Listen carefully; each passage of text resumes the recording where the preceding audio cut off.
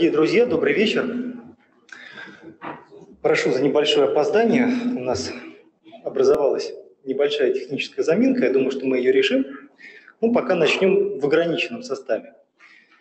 Меня зовут Владимир Олегович Беклямишев. Я член правления Российского исторического общества, ведущий координатор проекта Фонда истории Отечества. Со мной на связи пока что двое наших коллег, любезно согласившихся присоединиться к нашей сегодняшней беседе. Это наша коллега из Болгарии, лидер молодежного крыла партии «Альтернатива за болгарское возрождение» доктор Пламена Заячка. Добрый вечер. И наш коллега из Московского государственного университета, заместитель декана факультета политологии Антон Вячеславович Комплеев. Антон Вячеславович, здравствуйте. Здравствуйте, здравствуйте Владимир Олегович. Здравствуйте, Пламена. А, я надеюсь, что сейчас к нам присоединятся а, Данил Александрович Аникин, тоже представляющий Московский государственный университет, и наш израильский коллега Аарон Ильич Шнейер. Вот. Но пока, пока, наверное, начну сам. Тема нашей беседы – историческая память о Второй мировой войне, ее трансформация.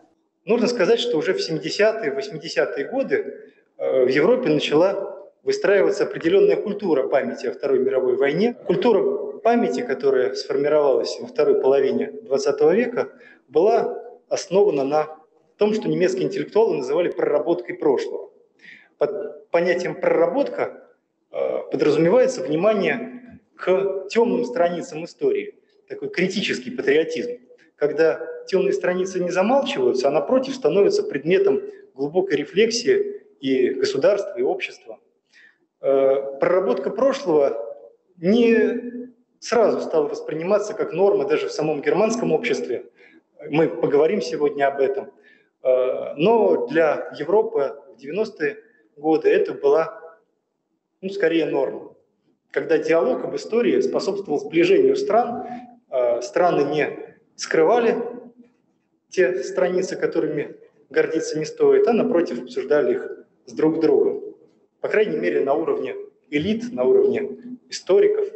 Стал популярен формат двухсторонних комиссий историков для обсуждения трудных вопросов прошлого. Сейчас в России создано 12 таких комиссий двухсторонних с самыми разными странами. Это вот как раз наследие той культуры памяти, о которой я вам кратко рассказал.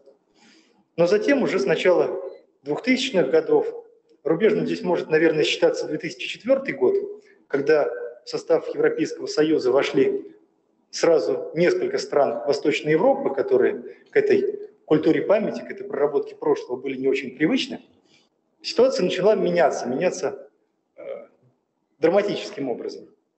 На место диалога пришла э, ну, такая антагонистическая культура. Вместо проработки прошлого общим местом стали войны памяти, когда ищут не истину, а, противника, вот, и свои темные страницы прошлого скрывают, чтобы не показать перед лицом противника уязвимости. Расцвела концепция двух тоталитаризмов. На место Холокоста, как уникального исторического события, о котором говорила вся Европа и которое э, не сравнивалось ни с чем по масштабу жертв, по трагичности, пришла идея того, что советский режим был не менее преступен, чем гитлеровский. Мы поговорим об этой идее чуть позже. Вот я думаю, что такое, такое вступительное слово задаст общую рамку нашей дискуссии. Поговорим об этом, поговорим о том, может быть, как э, сегодня со сменой поколений э, меняется культура памяти, восприятие Второй мировой войны в Европе, э, может быть, на постсоветском пространстве. А потом я был бы рад услышать ваши вопросы, может быть, какие-то комментарии, потому как здесь сегодня присутствуют представители очень многих стран, и везде э, культура исторической памяти, э, представление Второй мировой войны уникальны. Я думаю, что э, ваш опыт будет нам ценен, мы его с удовольствием с вами в конце обсудим. Вот, пока я старался отвлечь вас от экрана, к нам присоединился Даниил Александрович Аникин. Добрый вечер. Добрый вечер. И да, я думаю, что мы можем начать нашу беседу, я задам общий вопрос всем нашим спикерам. Вопрос этот простой. Ощущаете ли вы, коллеги, как меняются сегодня представления о Второй мировой войне на международном уровне, на межпоколенческом уровне? Какие тенденции вы бы могли в этой связи выделить как основные? Ну, Данил Александрович, раз вы присоединились к нам последним, вам и первым выступать.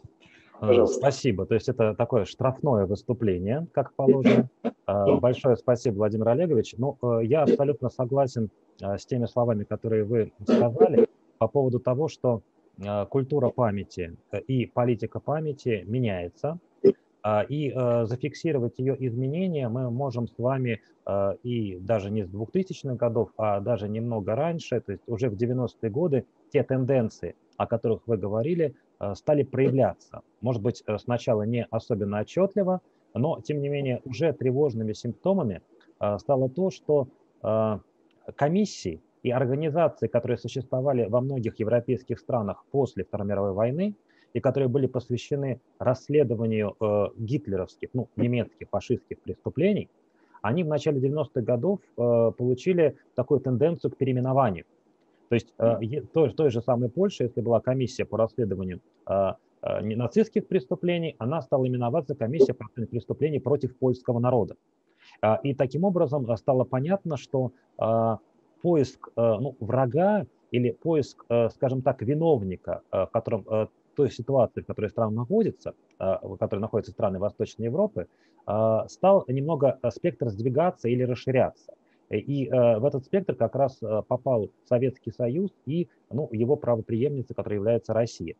А, но, э, то есть один аспект здесь, разумеется, политический, изменение отношения к войне, потому что когда мы говорим каждый раз про политику памяти, это всегда, ну, если помните такого советского историка Покровского, что история – это политика, опрокинутая в прошлое, так вот, соответственно, политика памяти – это всегда зеркало, в котором отражается настоящее. Мы подбираем те образы прошлого, которые оказываются наиболее выгодны нам здесь и сейчас. И поэтому э, концепция двух тоталитаризмов или двух оккупаций оказалась очень востребована странами Восточной Европы именно в той ситуации, когда один э, политический блок социалистически разрушился, второй, соответственно, победил в этом э, столкновении. А, и для вхождения в этот блок или заручение его лояльностью потребовалось обоснование того, какое место эти страны занимали в социалистическом лагере. А, и а, лучшим вариантом стало применение на себя образа жертвы. Жертвы сначала по отношению к нацистскому режиму, а потом по отношению к советскому. Вот этот момент то есть показывает на то, как прошлое или образы прошлого могут меняться в соответствии с требованиями настоящего. И это вопрос не только исторический, но и вопрос политологический. Потому что когда мы пытаемся найти ответ, все-таки имеет место вот это вот два тоталитаризма или две оккупации или нет, это не вопрос в самих фактах, это вопрос в их интерпретации и в том, как мы их подводим под какую-то теоретическую модель. Поэтому здесь это то, тот самый узловой, узловой какой-то узел проблем, где сталкиваются интересы и историков, и политологов, и социологов, и даже, наверное, философов, потому что это такой вопрос фундаментальный. Но второй аспект, на котором хотелось бы обратить внимание, это вопрос поколенческий. То, что чем дальше мы по времени сдвигаемся от Великой Отечественной Второй мировой войны, тем меньше остается очевидцев тех событий. И тем больше влияние ну, такой субстанции, о которой заговорила Марианна Хирш, под названием постпамять. Когда наше представление об этой войне формируется не на основании личных впечатлений, не на основании воспоминаний, передаваемых нам очевидцами этих событий, а на основании э, медиаобразов, которые транслируются фильмами, которые транслируются какими-то передачами, которые транслируются видеоиграми в том числе, а, и поэтому вот э, здесь э, каждое последующее поколение будет все в большей степени ориентироваться, к сожалению, не на источники, не на достоверную или проверенную информацию, а на те образы, которые будут максимально яркими и раскручены. Вот я хотел бы вот эти две тенденции выделить. Ну, Данил Александрович, спасибо. Я э, думаю, что действительно Э, термин постпамять отражает нашу ситуацию очень хорошо. Знаю, что сейчас в России по-прежнему среди нас порядка 60 тысяч ветеранов, участников Второй мировой войны. Не знаю, возможно, если взять по миру, то эта цифра будет, может быть, больше, так сказать, в процентном соотношении, чем в российском обществе. Но, тем не менее, это капля в море, и, естественно, большинство из тех, кто относится уже к молодому поколению, к современному поколению, э, черпали представления о войне из э, учебников, скорее всего, из СМИ. Вот, поэтому, да, термин постпамять здесь актуален. Я обращусь в этой связи к э, пламени. Вот, Болгария – это страна, которая имеет особую историю участие во Второй мировой войне. Это, пожалуй, единственная страна, которая, несмотря на то, что оказалась по другую сторону фронта с Советским Союзом, долгое время не э, вступала в войну с ним. Да, война не была Болгарии объявлена э, вот, Советскому Союзу. В Болгарии бережно хранят память о э, советских войнах-освободителях, которые участвовали в э, свержении вместе с болгарскими патриотами нацистского, ну, профашистского режима. Вот, Болгария гордится тем, что там не было Холокоста, вот, и количество евреев за время войны даже немного увеличилось по сравнению с довоенным временем. Вот как болгары, молодые люди, сохраняют эту память? Пламена, пожалуйста. Спасибо вам. А, на первое месте я хочу сказать, простите, извините, я не умею говорить хорошего русского. Простите, надеюсь, что вы поменяете меня. Ну, для меня большая честь быть на этом форуме и принять участие в дискуссии исторической памяти Второй мировой войны в современном мире. Мне хотелось бы сказать несколько слов об использовании и злоупотреблении с памяти истории международных отношений, так как именно с нас молодых людей и надо начинаться перемену. Мы должны переосмысливать историю, а не перенаписывать ее. Мы есть те, которые обязаны положить конец манипуляциям исторических фактов, политизации исторических периодов и событий и бороться за правду, за историческую истину. Это было уже сказано из-за факта, что прошлое создает настоящее, а настоящее является фундаментом нашего будущего. Очень часто память и история становятся объектом манипуляции. Известно немало случаев злоупотребления разными техниками социальной манипуляции. В результат наблюдаются фобии по отношению к целым нациям и народам. Например, в Македонии существуют болгарофобии, которые пытаются заимствовать историю и приписывать исторические события. В Румынии и Польше русофобии, в Хорватии сербофобии. Фобия предполагает образ врага и объединение людей вокруг него, него со страха. Через нея интерпретируют прошлое и настоящее. Самый яркий пример э, датируется со времени Холодной войны и объявления Советского Союза империей зла. Одним из самых заблуждений и искажения фактов является именно Вторая мировая война.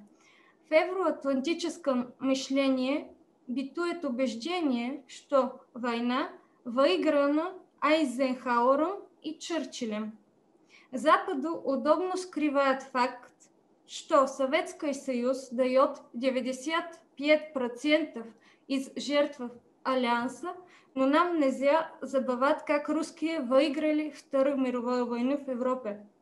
Недостойно отрицать решающую победу Красной Армии и ее вклад в это эпохальное событие – если не был бы День Победы, то и Дня Европы не был бы. Преживань, прежние и теперешние события взаимосвязаны.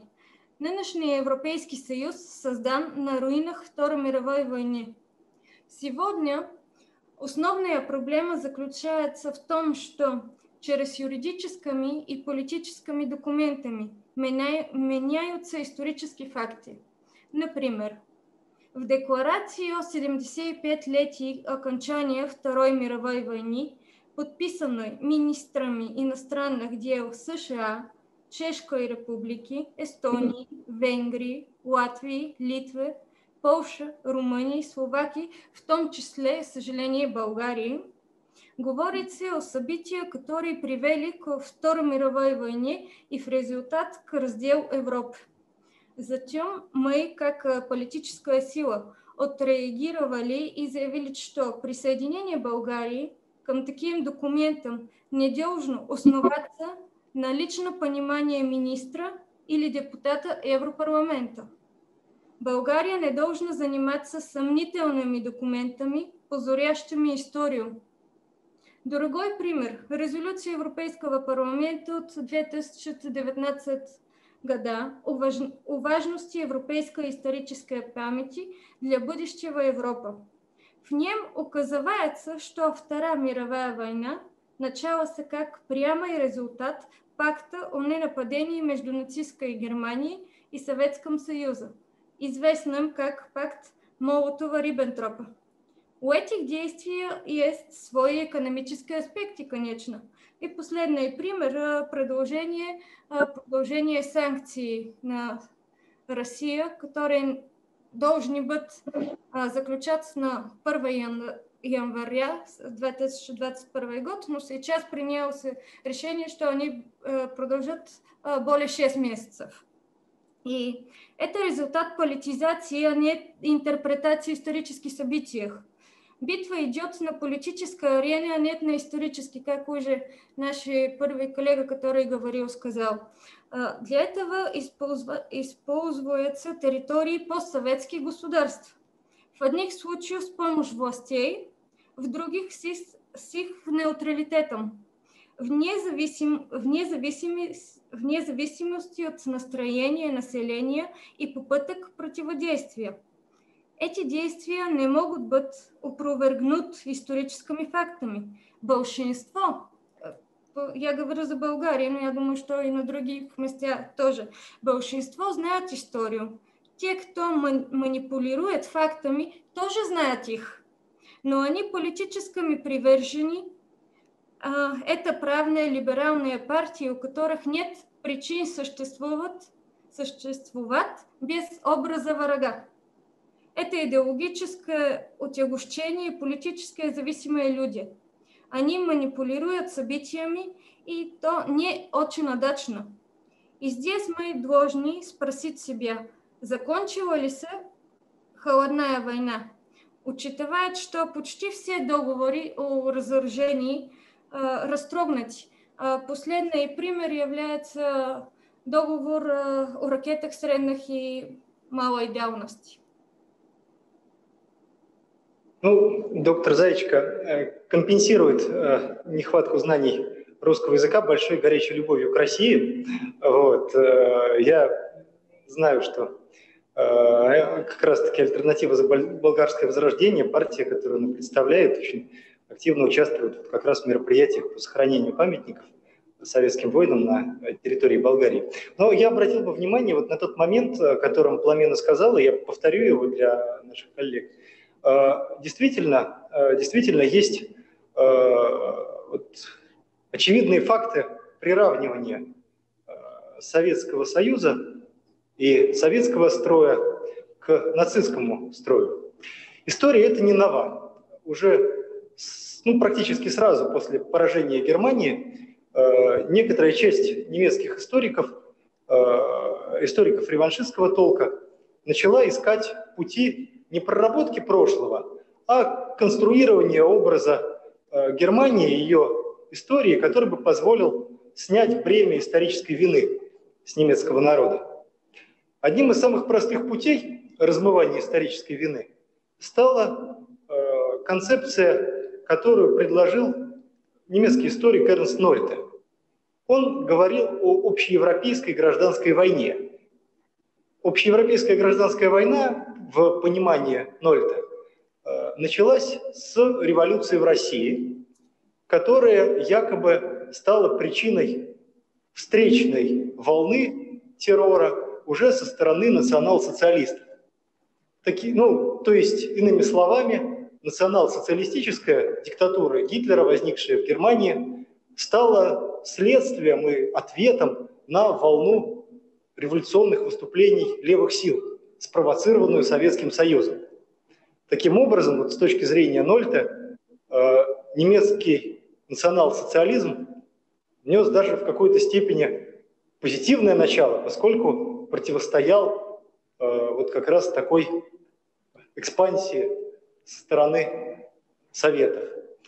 Естественно, это был такой немножко завуалированный пересказ нацистской пропаганды периода как раз-таки Второй мировой войны. Но он был воспринят, и э, в немецком обществе развернулся целый спор историков. Э, спор историков э, закрепился как такой историографический термин, как понятие, потому что очень многие немецкие интеллектуалы выступили против. Вот, и казалось бы, что концепция ноль это опровергнута. Вот, опровергнута идея того, что немецкий нацизм равен или даже немножко лучше – вот, чем советский тоталитаризм, сталинский тоталитаризм. Вместе с тем уже, э, вот, начиная с 2000-х годов, эта концепция, которая стала, как заметил Данил Александрович, удобна э, прибалтийским странам, удобна странам э, Центральной Европы, вот, некоторым политическим силам в этих странах, естественно, не большинству их, их граждан, которые хорошо помнят освобождение своих народов. Но вот, так сказать, ряду элит э, эта концепция стала удобна, и на европейском, общеевропейском уровне мы сейчас наблюдаем ее ну, некоторый ренессанс. Я бы попросил э, Антона Вячеславовича Комплеева сказать несколько слов о э, вот этой концепции двух тоталитаризмов, о том, как, как ее воспринимать, что она значит для нас, что она значит для будущего. Спасибо, Владимир Олегович, уважаемые коллеги, уважаемые участники летней школы. Ну, я хотел бы вначале несколько слов, как бы вот продолжение то, о чем говорил Данил Александрович, говорил а, Пламена. То есть действительно, а, говоря о современной а, памяти о Второй мировой войне в Европе и мире, действительно мы переживаем сейчас очень такой сложный период, когда идет ломка, трансформация устоявшихся представлений. И действительно, к сожалению, увы, это имеет не только поколенческий момент, да, о котором говорил Данил Александрович, но он подчеркнул то, что это, этот процесс в значительной степени политизирован. И Пламена привела целый ряд очень ярких примеров э, того, как происходил этот процесс. Но Пламен упомянул, да, что, э, по сути, ряд, ряд исследователей говорят о том, что, по сути, идет новая холодная война, и история в какой-то степени становится заложником этой войны. Вот мы постоянно пытались как бы в наших выступлениях, наших сегодняшних спикерах найти как бы ту, тот момент, когда же началось Э, искажение да, событий, представления об истории Второй мировой войны, когда же ее начали политизировать, а на самом деле ее начали политизировать в момент, когда война еще шла и сразу после ее завершения. Самым, наверное, одним из таких ярких первых э, документов вот такой холодной войны на историческом э, поприще стали, стал, опять же, вот говорили мы о э, оценках э, Э, обвинениях да, сложившейся концепции двух тоталитарных режимов, да, двух, двух оккупаций. И, соответственно, сейчас э, активно идет в европейском, во многих э, среди, во многих европейских странах идет дискурс о ответственности двух тоталитарных режимов за развязывание Второй мировой войны. Этот концепт появился сразу после окончания этой войны, да, и автором были американские дипломаты, американские исследователи, которые в 1947 году выпустили а, ставшую достаточно знаменитой книгу а, «Нацистско-советские отношения 1939-1941 года». Этот сборник документов а, стал, по сути, первым таким пробным шаром, первым выстрелом вот этой холодной войны на историческом фронте и очень четко расставив акценты, обвиняя Советский Союз в ставя его на одну доску с Германией в развязывании Второй мировой войны и, по сути, перекладывая мостик на события послевоенного мира, показывая, что Советским Союзом нельзя сотрудничать, его, ему нельзя доверять, и, соответственно, осуществляя идеологическую подготовку вот этой самой холодной войны. А, в итоге, в итоге, опять же, Владимир Олегович говорил о том, о неком ренессансе да, а, концепции Эрнста Нольта да, в современном мире, что, по сути, проиграв, проиграв тогда Хабермасу и его другим немецким интеллектуалам тогда в 80-е годы, по сути, мы видим, что концепция Нольта ползуча, но побеждает в современной Европе, к сожалению.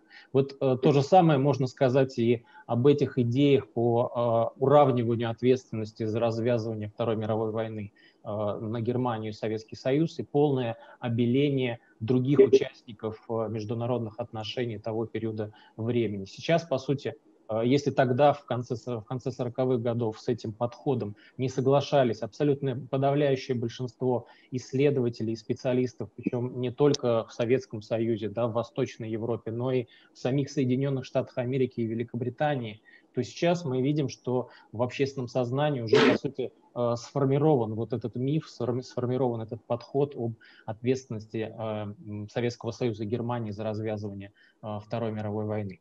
Что касается ну, как бы, концепции двух тоталитаризмов, то действительно мы здесь выходим на более широкую тему, которая связана не только с событиями Второй, Второй мировой войны, но, опять же, вот Владимир Олегович достаточно подробно рассказал да, про то, как, э, какой, какой вклад в укреплении, в формировании этого мифа а, сыграло, а, сыграли немецкие исследователи, в частности, вот, ревизионисты а, и прежде всего Эрнст Нольта с, с его концепцией.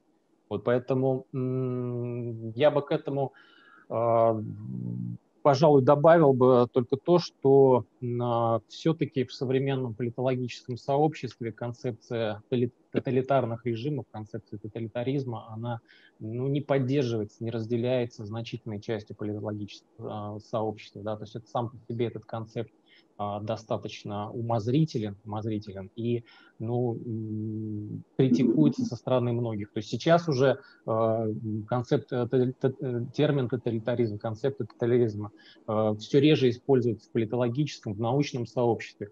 Уже, по сути, идеологический штамп, идеологический штамп и предмет вот той самой той самой политики, да, формирования мифов об истории, о котором мы, мы говорим. Э, ну, вот как раз Антон Вячеславович вышел на тему э, равенства ответственности в развязывании Второй мировой войны. Я э, думаю, что можно уделить этому чуть более подробное внимание. Ну, я опять же предполагаю, что общая канва событий всем нашим участникам известна, об этом много говорил, говорили предыдущие спикеры.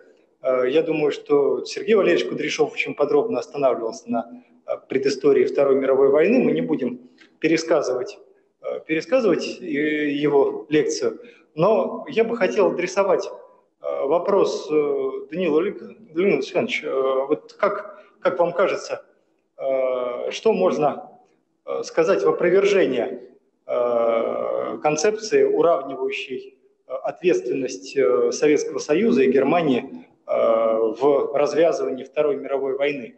Немножко Э, вот с точки зрения э, политолога и философа. Расскажите об этом. Да, да, да, спасибо. Я, э, во-первых, обратил внимание на то, насколько часто мы даже вот за наше выступление, вот за эти прозвучавшие, употребляли термин «ответственность». А, и мне представляется очень важным, что ну, в этом году и президент Российской Федерации выступил со статьей как раз про ответственность. А, и э, вот э, в январе 2020 года прошло такое мероприятие «Рождественские чтения», которое проводит Русская Православная Церковь, где тоже речь шла об ответственности. А, вопрос только в том, э, как бы, кто эту ответственность несет а, и перед кем эта ответственность. Вот и здесь я бы обратил внимание, что вот эта вот э, тенденция разделения ответственности, она, э, с одной стороны, представляется ну, достаточно закономерной. потому что чем больше исторических фактов скрывается, тем больше выясняется того, что даже в тех странах Восточной, Центральной Европы, которые позиционировали себя как жертвы нацистского режима, что они в каком-то смысле слова являлись и соучастниками. Я напомню вам историю с книгой Яна Гросса, американского историка польского происхождения, «Соседи», где он как раз поставил вопрос о том, насколько местное население являлось, ну, скажем так, соучастником геноцида евреев в процессе Холокоста.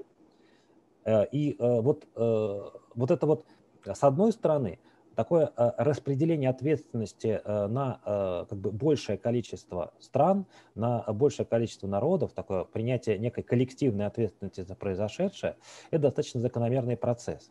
Вопрос в данном случае тогда заключается в том, почему вдруг количество участников ограничивается двумя. Вот. То есть здесь, здесь, здесь скорее вопрос о, как бы, кто и как ставит вот это вот ограничение, и почему это ограничение проходит.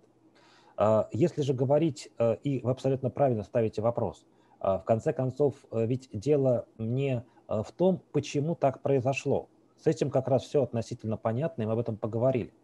Вопрос традиционный русский, что делать? А, и получается, что здесь как бы возникает, к сожалению, два варианта.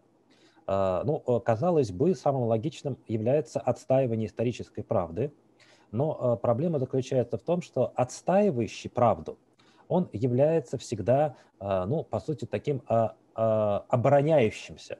Он лишь отбивается от нападения, что, конечно, с моральной точки зрения хорошо, но не всегда эффективно. Поэтому здесь вопрос или дилемма, на мой взгляд, заключается в том, что поскольку вопрос не сугубо исторический, вопрос не поиска новых фактов, а вопрос э, политический. И, соответственно, э, урегулирование этого вопроса возможно только путем э, достижения новых политических договоренностей, если можно так выразиться, новой Ялты, которая позволит подтвердить ну, существующий, существующий статус держав, гарантов безопасности в мире – но, а, может быть, расширить этот состав а, за счет новых политических акторов, появившихся со времен Второй мировой войны. Вот, поэтому мне кажется, что вот здесь вот вопрос заключается, то есть решение вопроса, к сожалению, для историков лежит не в плоскости истории. То есть вопрос не в поиске какого-то нового факта или в его продвижении, о котором раньше не знали – все эти факты, в общем, достаточно известны, вопрос просто в том, что они игнорируются. А это означает, что решение в плоскости политики.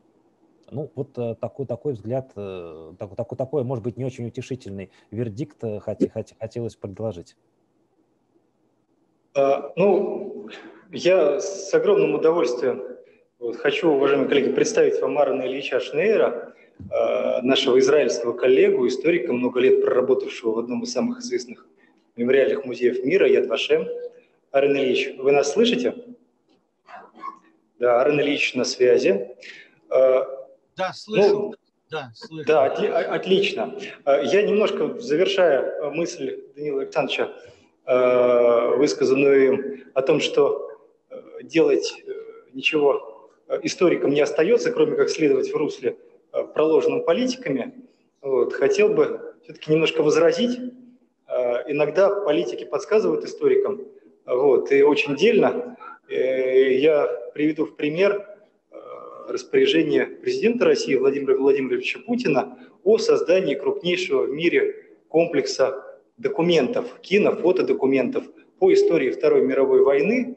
Завтра будет выступать председатель правления Российского исторического общества Константин Ильич, возможно, он более подробно об этом расскажет. Но сейчас ведется работа по отбору этих материалов, их размещению в открытом доступе, то есть, по крайней мере, у нас будет, э, да не только у нас, у граждан всех стран мира будет возможность обратиться к источникам, э, да, и, э, по крайней мере, опираясь на них, сформировать собственную картину, собственное представление о прошлом. Это, на мой взгляд, очень важно.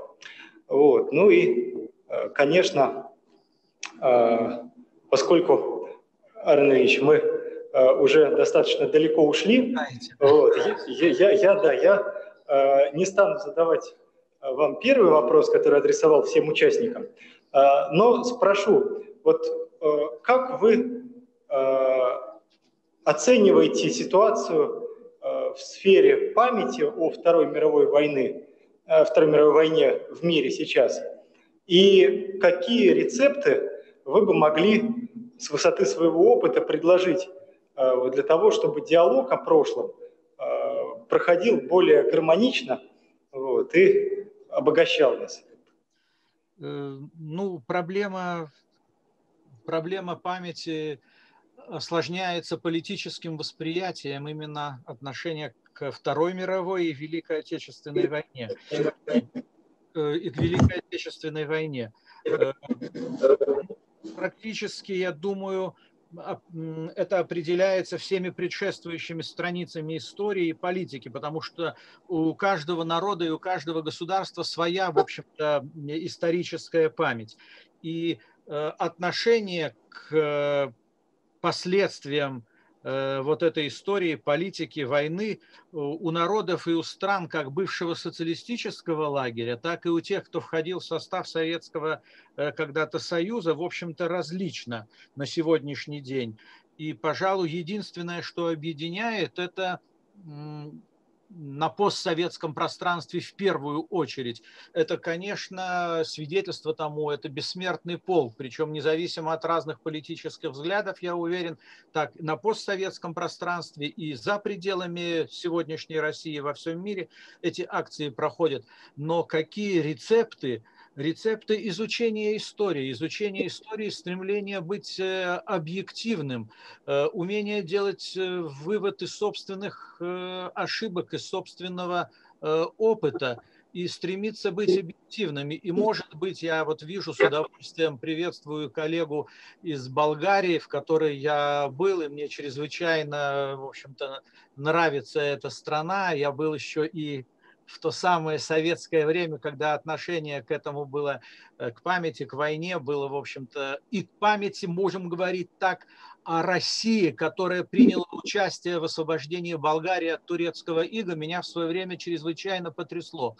Вот это тот пример, как надо относиться. Несмотря на то, что будем говорить, Болгария дважды оказывалась э, по другую сторону, что называется, баррикад в ходе в отношении с Россией и Советским Союзом в ходе Первой и Второй мировой войны. Но тем не менее память о том добром, хорошем прошлом, что сближало, и по сегодняшний день хранится в Болгарии. Меня это тогда поразило просто, да, улицы, названия русских генералов и храм гигантский, проспект Скобелева, Шибка и прочее, прочее. Так вот, надо искать, мне кажется, то, что сближает, а не разъединяет. В этом самое главное, может быть, э, урок вот ну, всего предшествующего, всей предшествующей, в общем-то, э, всего этого времени. И даже когда мы говорим о трагедиях войны, помня о прошлом, говоря об этой трагедии вслух, извлекая уроки, э, извлекать уроки должна как одна, так и другая страна, причем вслух говорить о том, что, увы, порой позорно, в истории каждого народа есть такие ситуации, но еще раз повторяю, надо говорить о том, что сближает. Только так можно двигаться, мне кажется, в будущее.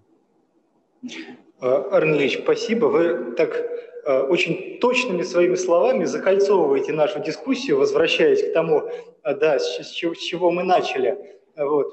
Собственно, э, идея того, что не стоит скрывать темные страницы своего прошлого, да, наоборот, желательно их осмыслить и, извлекая уроки, быть открытыми к диалогу. Вот, мне кажется, действительно один из рецептов того, чтобы память о Второй мировой войне не была постпамятью, да, а была нашим общим таким культурным багажом, э, нашим, э, нашим фундаментом, на котором мы могли бы строить э, мирное будущее. Сейчас я вижу, что у нас осталось 10 минут, и, возможно, у кого-то в зале появились вопросы, которые мы будем распределять между нашими спикерами. Вот, я, давайте э, начну по рядам. Вот, девушка, пожалуйста, какой у вас вопрос? Представьтесь и... Здравствуйте, меня зовут Наташа Барова, я студентка первого курса. И студент международных отношений. Мой вопрос. А, вы сказали сейчас а, по Путина и так далее для того, чтобы сохранить это. Но вы не думаете ли, что таким образом а, мы наоборот отбираем а, что-то, что можно было бы показать а, вообще другим народам? Наоборот же тогда происходит процесс разъединения, а не сближения, если идет такой отбор. Типа мы не показываем то, что есть вообще, а вот именно вот отбираем то, что нужно показать. Нам это ли не разъединяет?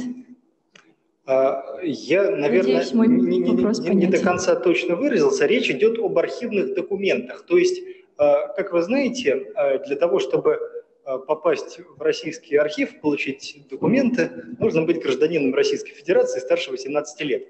А тут, э, так сказать, э, будет возможность получить доступ к документам, которые хранятся в том числе и в зарубежных странах, то есть наши российские историки э, поедут э, к своим коллегам за рубеж, вместе с ними выберут наиболее значимые документы по Второй мировой войне по этой теме, э, отсканируют их по договоренности, и будет создан один общий портал, да, по крайней мере так это представляется, на котором все эти документы будут размещены в открытом доступе, никому не нужно будет никуда ехать, их доступность повысится.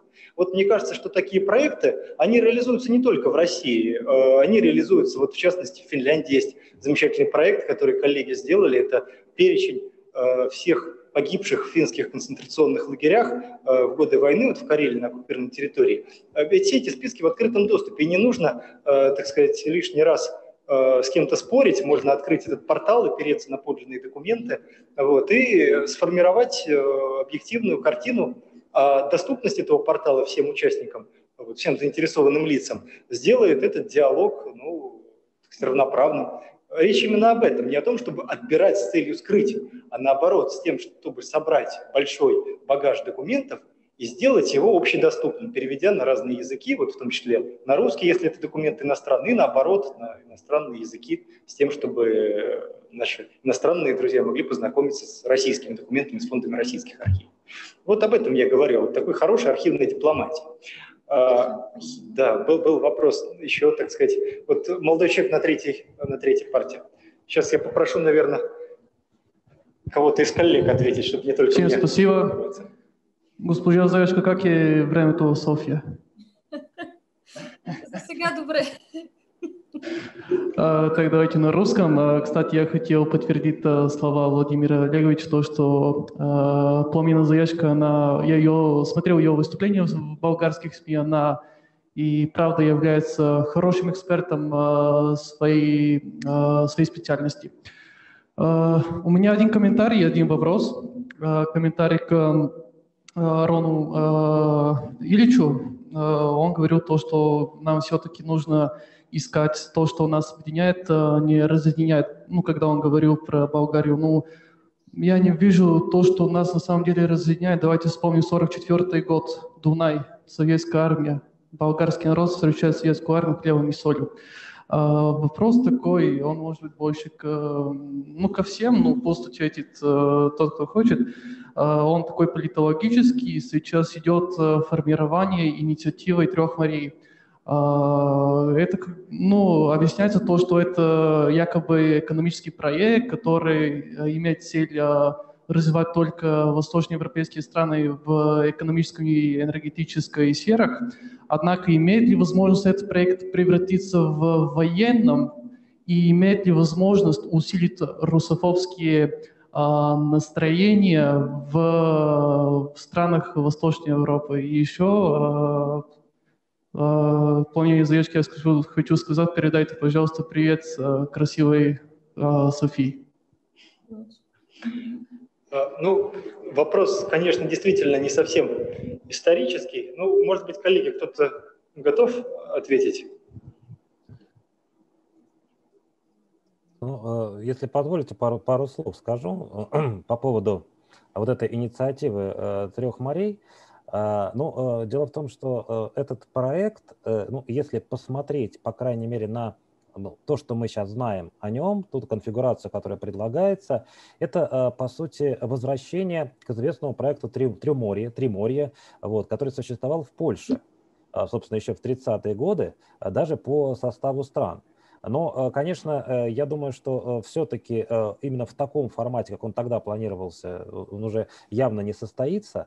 Вот, поэтому как бы вот вопрос, э, если обращаться к какой-то политике памяти, то есть если предполагать, будет ли у этого проекта какое-то свое историческое измерение, э, ну вот можно только сказать, что э, будет любопытно посмотреть, будет ли он апеллировать каким-то предшествующим проектам, будет ли он выстраивать какую-то свою концепцию прошлого, общего для этих стран.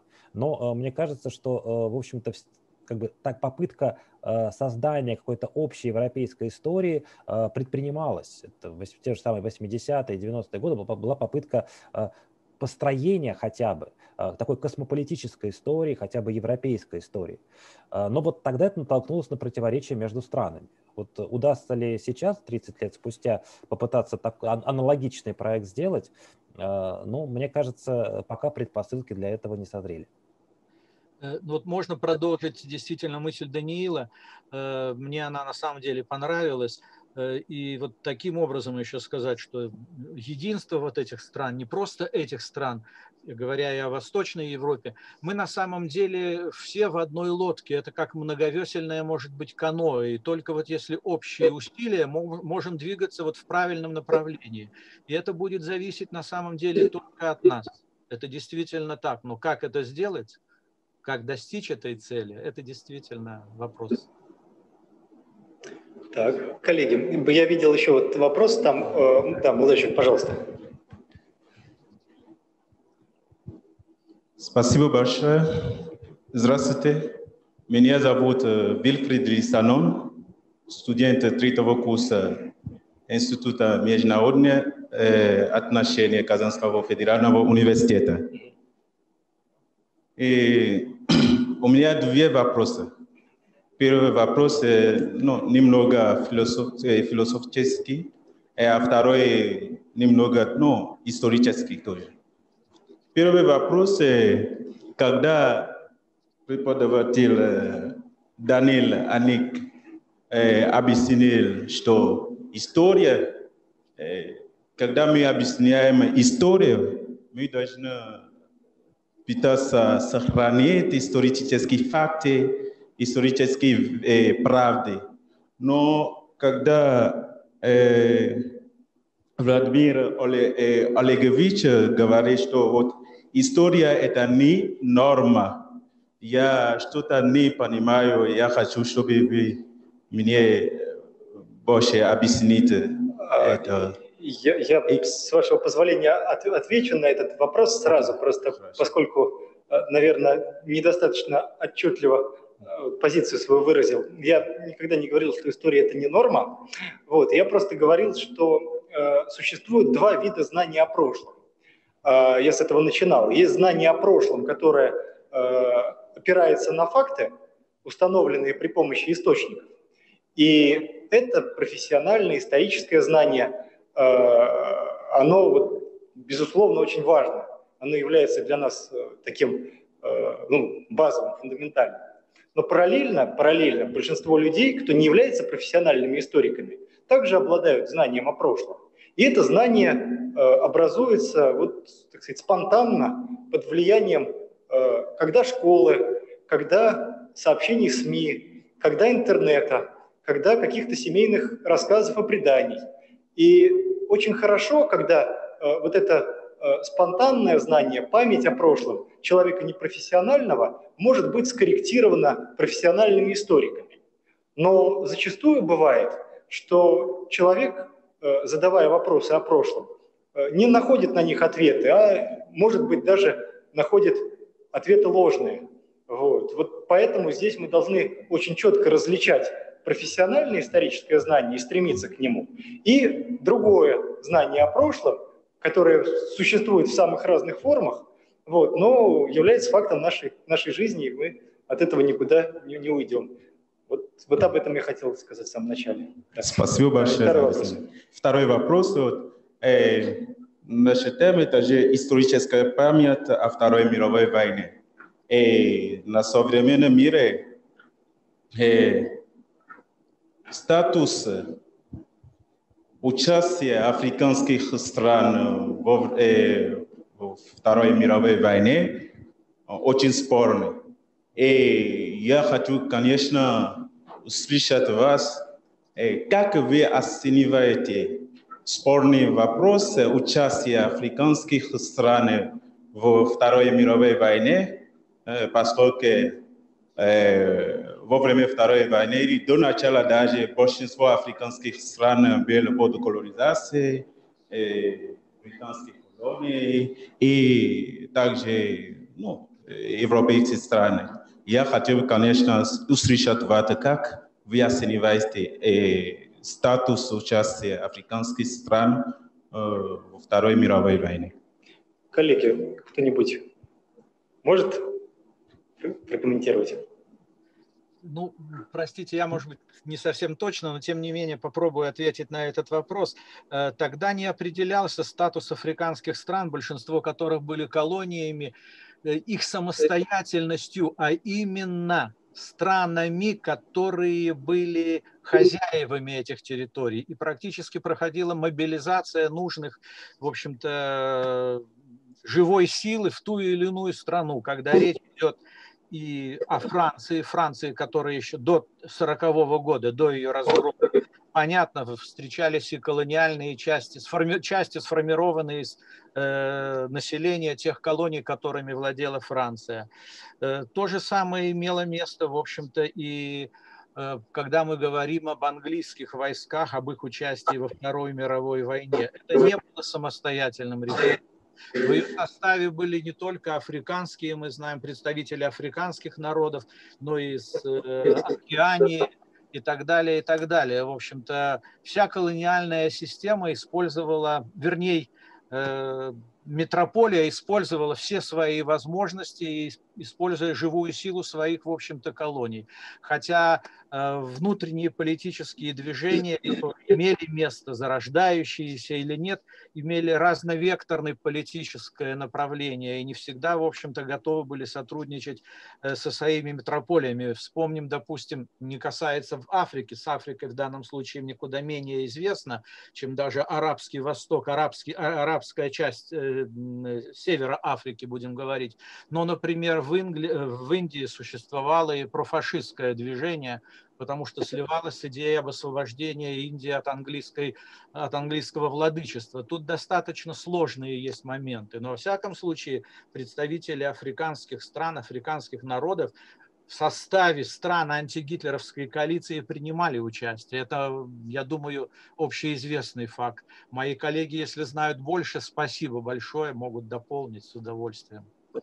Я очень Если кратко. можно, можно вот по пару слов буквально в дополнение а, к тому, о чем говорил да, Арон Ильич. Э, ну, у нас в России как бы достаточно в советское время да, хорошая школа африканистики, и вот в середине 90 как раз у нас э, вышел э, двухтомник, сборник документов «Африка во Второй мировой войне». Но действительно, прежде всего, материалы концентрировались вокруг того, о чем говорил Арон Ильич, вокруг держав метрополий, да, и того, как они использовали ресурсы людские ресурсы, материальные ресурсы Африки для а, решения собственных задач. Я хотел бы обратить внимание вот еще, еще на такой момент.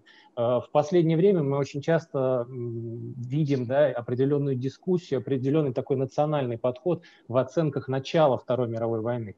Я думаю, всем вам известна да, позиция Китайской Народной Республики об а, таком особом статусе Японо-Китайской войны и начало этой войны в 1937 году попытка ассоциировать начало Второй мировой войны, связать начало общей Второй мировой войны да, с, началом, с началом Японо-Китайской войны.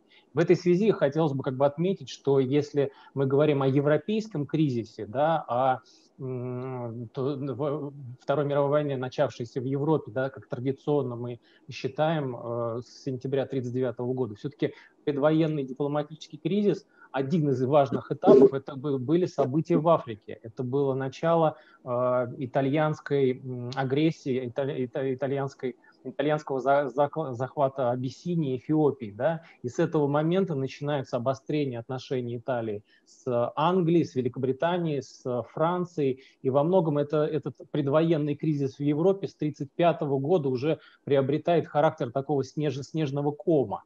И в какой-то степени можно говорить о том, что э, события э, на африканской земле тоже сыграли очень важную роль вот, э, в этом процессе. Антон Вячеславович буквально с языка у меня снял этот пример э, Итало-Эфиопской войны 36-37 годов, когда 35-36, извините, когда э, ну, действительно было встречено итальянцами такое ожесточенное сопротивление. И действительно, если мы откажемся от европоцентризма и посмотрим на картину шире, то обратим внимание, э, как во второй половине 30-х годов распределялись силы. Советский Союз был единственной страной Европы на тот момент, который противостоял э, фашизму, фашистскому блоку, странам оси. Не случайно был заключен именно антикоминтерновский пакт, направленный против Советского Союза. Война тогда шла в Испании, где Советский Союз поддерживал республиканцев. Война шла на Дальнем Востоке, где Советский Союз поддерживал Китай. Да, и это во многом снимает вопрос о том, насколько равна ответственность Советского Союза и нацистской Германии за развязывание Второй мировой войны. Вот. Я думаю, что при такой э, постановке вопроса мы не можем вообще говорить об этом. А, был еще один вопрос, вот, даже несколько, но мы, мы, конечно, вышли уже за рамки. А, я предлагаю, давайте еще два вопроса, и на этом мы завершим. Вот, девушка, пожалуйста. А, да, спасибо большое а, за вашу дискуссию, за такой интересный формат. Действительно, благодаря тому, что мы можем услышать а, мнение различных экспертов с большой буквы, мы можем составить определенное объективное мнение относительно вопроса относительно данного вопроса, который мы сегодня обсудили. И вот у меня возник вопрос еще с середины дискуссии относительно а, роли участия Советского Союза, а точнее ответственности Советского Союза за а, развязывание Второй мировой войны. И вот такой у меня вопрос. А по каким критериям вообще определяется степень, а, скажем так, а, сейчас, секундочку, определяется э, степень влиятельности на победу э, вот, именно во Второй мировой войне. Допустим, если критерий э, жертвенности, количество жертв, то возникает следующий вопрос. Почему, например, страны Европы, страны Запада, и не только страны Запада в том числе, определили то, что Советский Союз все-таки э, в какой-то степени э, вложил э, не такой сильный вклад в Вторую мировую войну, а точнее в ее победу, а вложил больше вклад именно в развязывание этой войны. То есть какие критерии, э, э,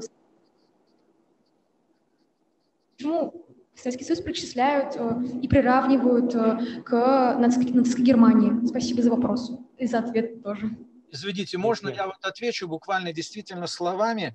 Э, нашего израильского профессора, лауреата государственной премии Бауэра. Он, может быть, он сам историк профессиональный, э, участник Варшавского восстания в Варшавском гетто был, да. Так вот, э, он сказал, оценивая события начала войны, совершенно точно, Вторую мировую войну, войну начала гитлеровская Германия, а не Советский Союз. И ответственность за убитых в Европе 35 миллионов человек – среди которых 29 миллионов неевреев, несет нацистская Германия, а не Сталин.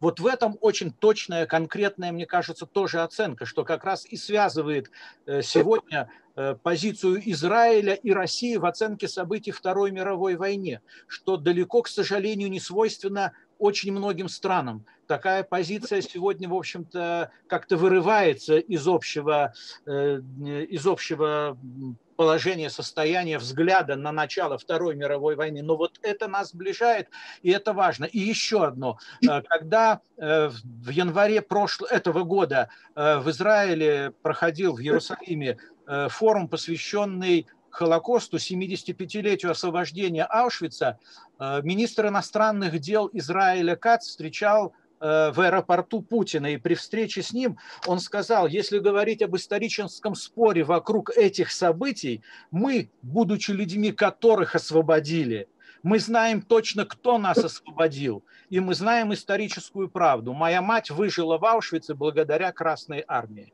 Вот такие вещи, то, о чем говорили тоже. И личная история переплетается с общечеловеческой, с историей Второй мировой войны. И вот люди, которым принесла свободу действительно Красная Армия, знают истинную цену и жертвам Советского Союза. И мне кажется, верно оценивают эту ситуацию. Нельзя исходить вот когда говорили, я понял, речь шла о мифологии, истории и так далее, нельзя исходить только из мифологии. История, ощущения и правда истории складывается из личного отношения. Вот поколение, рожденное после войны, второе, первое, второе, оно ощущает это как собственную трагедию, а рожденное – 80-е и 90-е годы – это уже иное отношение, что, в общем-то, естественно. Историческая память уходит.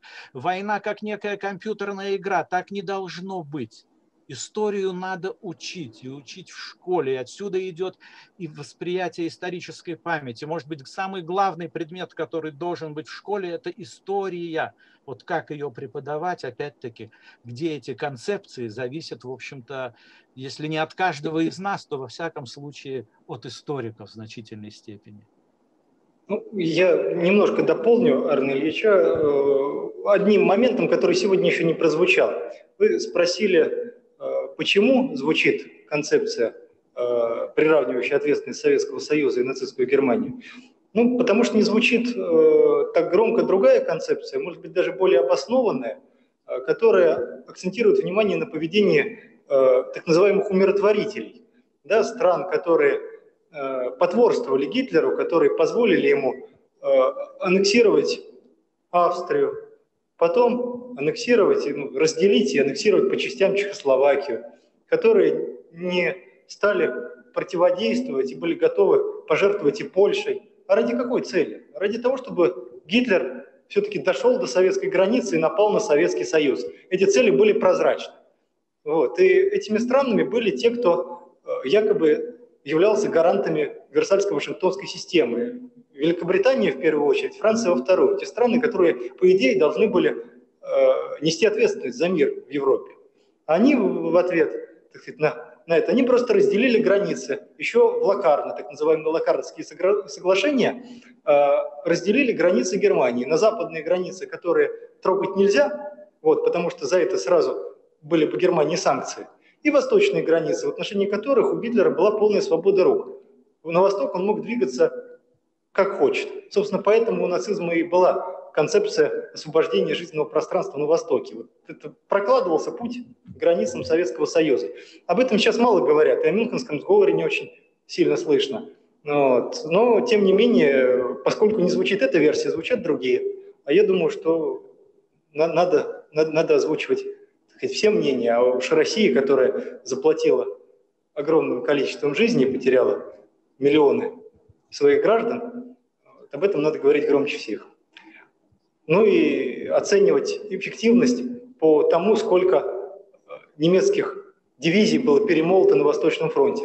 Бывало так, что за день Сталинградской битвы было уничтожено больше немецких сил, чем за всю какую-то военную кампанию которую Гитлер там в 1940 году с блеском так сказать, проводил в Европе.